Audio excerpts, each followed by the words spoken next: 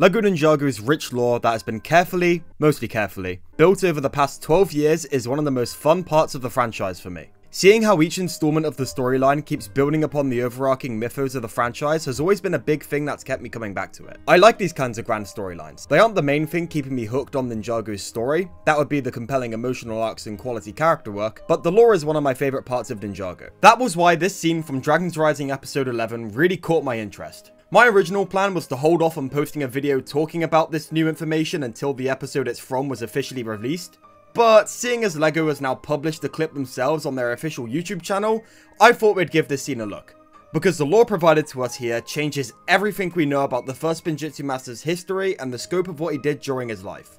Does that sound interesting to you? If so, then stick around, because we're going to be discussing it and the implications that come of it. So, throughout the entirety of the original LEGO Ninjago series, which in case you don't know goes from the pilot episodes through to Crystalized, we were led to believe that the first Spinjitzu Master created only the realm of Ninjago after leaving the realm of Oni and Dragon, and that the other 16 realms are all brought into existence by other means. Dragon's Rising has revealed that this is still true for most of the other realms, but it turns out the Spinjitzu Master had more of a hand in the greater universe than we previously thought.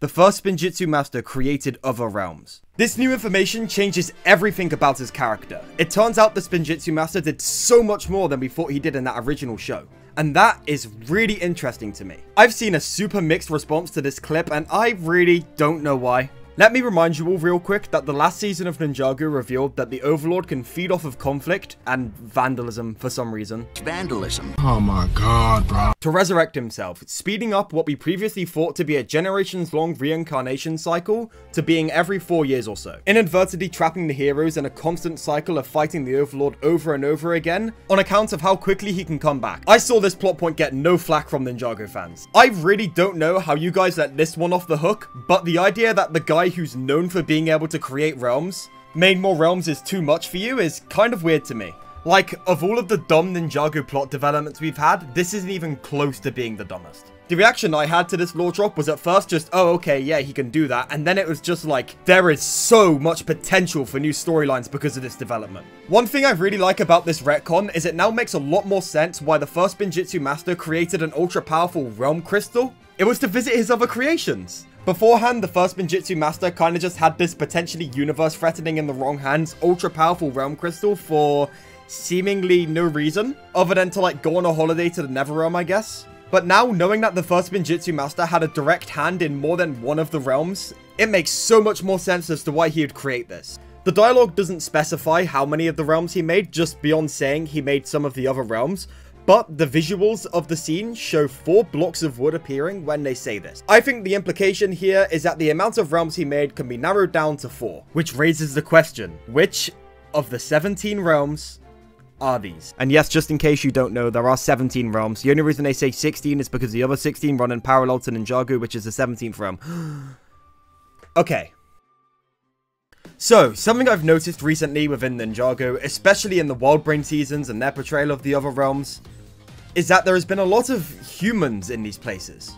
In Wilfilm Ninjago, excluding the Cloud Kingdom which we'll get to, whenever we've been introduced to a new realm, it's always been home to some new species we've never seen before or some kind of mystical creature.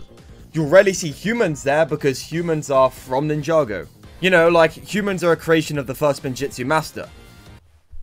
Right? However, during WildBrain's episodes on Ninjago and in Dragon's Rising, we've been seeing a lot more just regular humans in different realms.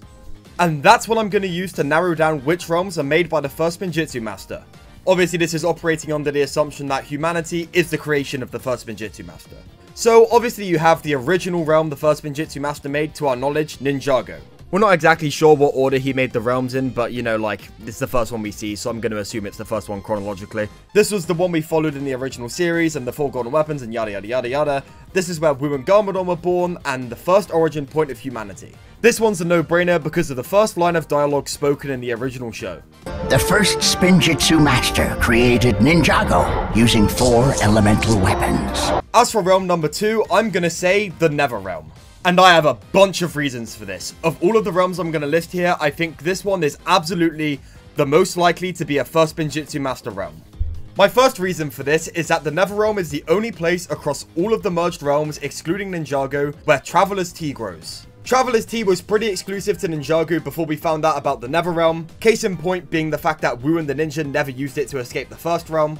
And if I were to throw a bit of speculation out there, I would guess the reason that it's so much more powerful than it is in Ninjago is that the first Spinjitzu Master probably powered up the leaves himself and made them more potent when he was in the Netherrealm one time. And I mentioned that visit to the Netherrealm because I know that when I put out this theory, it's going to be the first thing mentioned to me in the comments.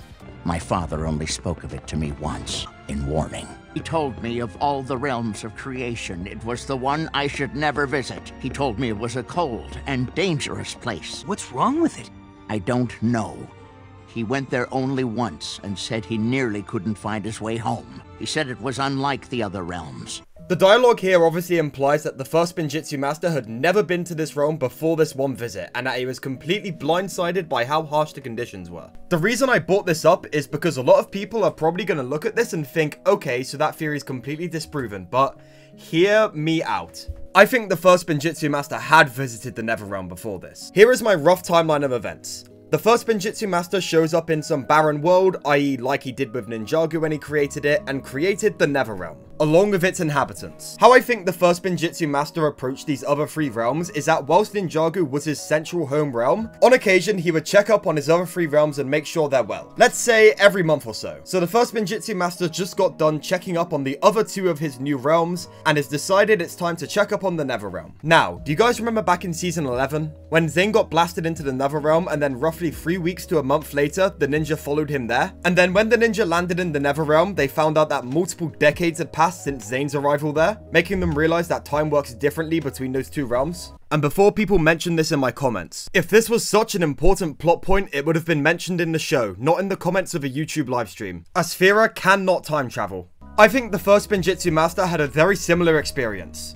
One month he went there and it was relatively pleasant and inhabitable. The next month he'd went there, 20 years or so had passed, there was a complete climate change, and it looked like the realm was completely extinct. Something, assuming the first Spinjitzu Master did assume this, he was wrong to think. I think this was the visit mentioned in Season 11, the visit that made the first Spinjitzu Master so weary of the Netherrealm. Making even more sense when you realize that this was his own creation, and he probably had a ton of regret for letting it fall into ruin like this. But beyond that theory on my part, beyond the Traveler's Tea existing in Ninjago and the Netherrealm, beyond there being humans here, there's literally a location named after Wojira. Mala Wojira. Malawojira? Wojira's wrath. I mean, like, come on. I would be shocked if the first Spinjitzu Master didn't create this place. The next place we have here is Imperium. My main reasoning for assuming this is just the fact that there are humans here. Like, as much as I'd love to talk more about Imperium's lore in depth and relate it to the first Spinjitzu Master, we really don't know much about it right now. Beyond its current state being an imperialistic fascist dystopia that controls its citizens through propaganda and fear. But I will say, Having an Imperium monastery that mirrors the monastery of Spinjitzu, which is where the first Spinjitzu master lives, even ultimately being linked to it via portal, is pretty suspect if you ask me and does add to the pile of evidence that the first Spinjitzu master created Imperium. Now, as for the final realm of all of these, my main contender would be Cloud Kingdom, although the logic around that is really messy, and we're gonna get into it.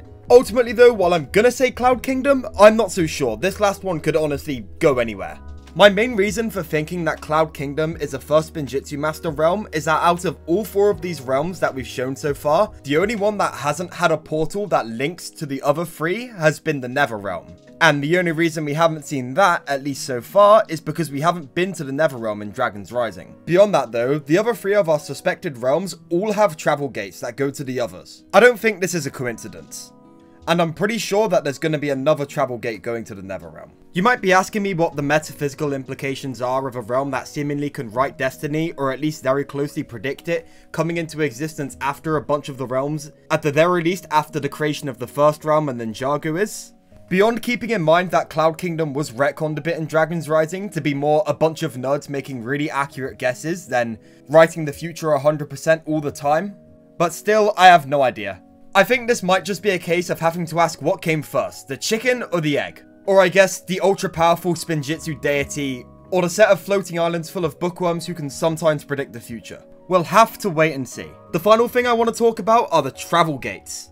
I'm just gonna go for a wild guess here and say the first Spinjitzu Master decided for some reason to make stable gates to the other realms rather than using the Realm Crystal, and use the Realm Crystal to power them. Beyond that, these things are super mysterious. The only guess I really have for what these are is that they're all linked to the realms of the first Spinjitzu Master. And that's about all the hypothesis I have for this one line of dialogue. There's still another about 50 seconds worth of exposition in this clip, so I recommend you watch it yourself. But beyond the first Spinjitzu Master creating those four realms, if I discussed everything shown in that clip in this video, we would be here until I'm 50. So, for the sake of time and getting this video out before part 2 comes out, we're going to end the video here. That does not mean that the discussion has to end here though. Be sure to let me know what you think of this new lore in the comments down below and what implications it's going to have for the Ninjago universe as a whole. I'm really interested to get your guys' thoughts on this, so be sure to sound off down there.